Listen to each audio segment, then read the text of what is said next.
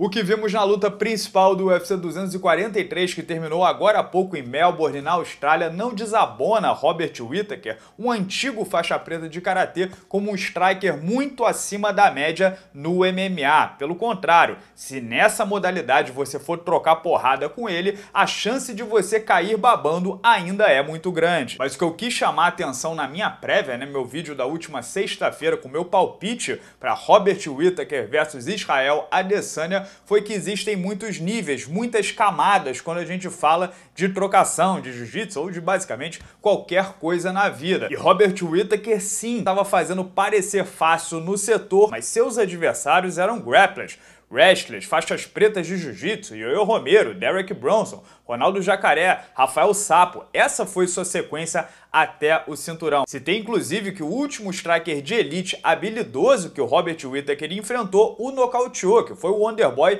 Stephen Thompson na categoria até 77 quilos. E na luta principal do UFC 243 a gente viu novamente a diferença de um striker muito bom para o MMA para um de nível mundial, testado e comprovado nos maiores ringues do mundo contra a elite da trocação. A gente tem que entender de uma vez por todas que ser um bom striker não se resume apenas à força, pegada, potência, mas também inclui timing, velocidade, reflexo, frieza e principalmente precisão. Afinal, o maior peso pesado da história do boxe era mais conhecido pela beleza e pela velocidade do que pelo punch propriamente dito. E o que pegava mais pesado, claro, questionavelmente, foi dominado por um adversário com movimentação e técnica superior, e falo, claro, de Mike Tyson e Evander Holyfield. E o primeiro grande indício de que o cinturão linear dos médios mudaria de mãos essa noite, né, evidenciava o gap técnico entre o Whittaker e o Adesanya, foi a quantidade de golpes no vazio que o Whittaker estava jogando. Ele que nunca desperdiçou golpes contra aqueles adversários que eu citei no começo do vídeo. Mas o Adesanya é tão elusivo, se movimenta, evade tão bem, esquiva, né? Tá sempre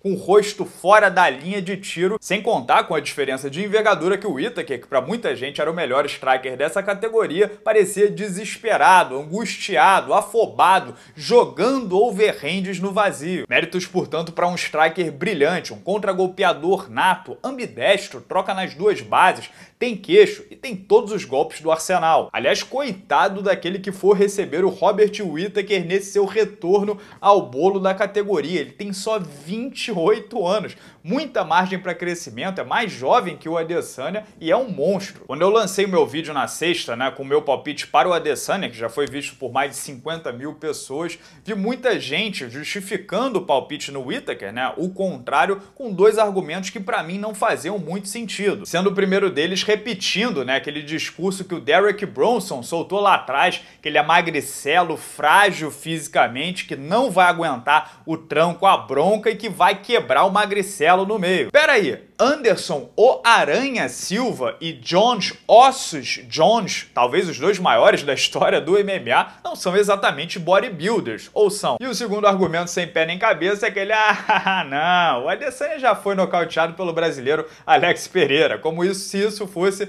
algum demérito. Entre MMA e kickboxing, o Adesanya tem 99 lutas profissionais. Ele só foi nocauteado uma vez e pelo melhor striker do mundo, o primeiro duplo campeão do Glory, maior evento de trocação do mundo.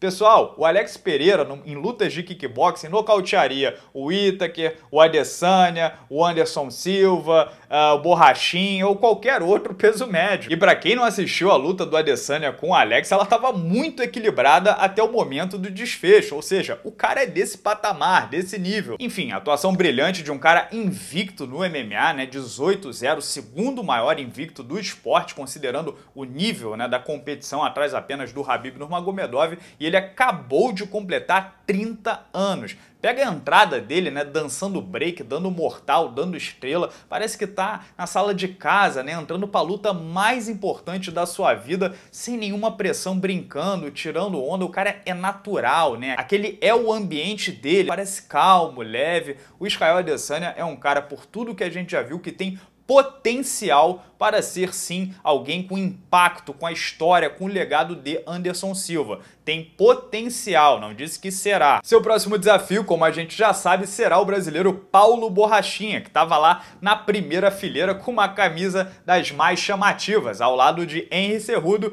e seu treinador de wrestling, Eric Albarracin. Sobre o Borrachinha eu vou falar apenas duas coisas nesse vídeo. O primeiro ponto é que eu não compro de forma alguma todo o papo do Borrachinha ao longo da última semana, ele achava que o Ita queria vencer, que o Itaker era muito favorito, que era um lutador superior e ao mesmo tempo focou toda a sua provocação, seu trash talk e sua energia no Adesanya. Peraí, se o cara tem o objetivo de lutar com o campeão, para que, que ele vai focar no cara que ele acha que vai perder se ele não vai enfrentá-lo na próxima rodada? O Borrachinha eu tenho certeza que é mais inteligente do que isso. Ele sabia que sua chance de enfrentar o Adesanya na próxima rodada era muito grande. E num momento em que o Dana White, presidente da empresa, está falando abertamente que quer ver Adesanya contra John Jones, um cara que é muito famoso, um figurão do esporte e um campeão muito dominante da categoria de cima que não tem simplesmente adversários nesse momento, o Borrachinha se posicionar, irritar o Adesanya e fazer com que o Adesanya diga o nome do Borrachinha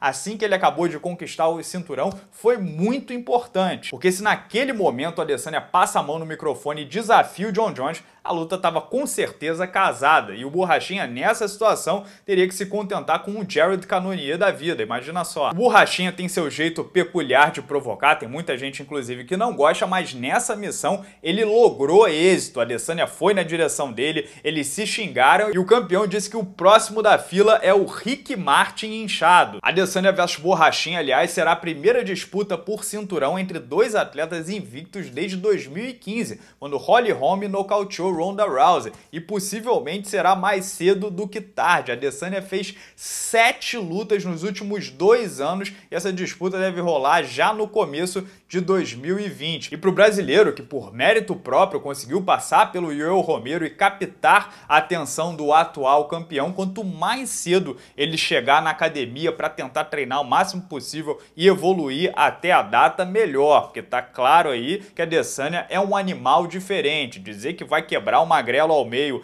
e ou usar o Alex Pereira como benchmarking não funciona muito bem. Mas deixa esse papo de borrachinha versus Adesanya para outra ocasião. Como sempre, essa é apenas a minha opinião, os meus dois centavos. O que vocês acharam sobre essa luta principal do UFC 243? Comentem livremente aqui embaixo no vídeo. Se inscrevam no canal para não perder nenhuma resenha rumo a 150 mil inscritos. Um grande abraço a todos vocês, muito obrigado como sempre pela audiência e até a próxima.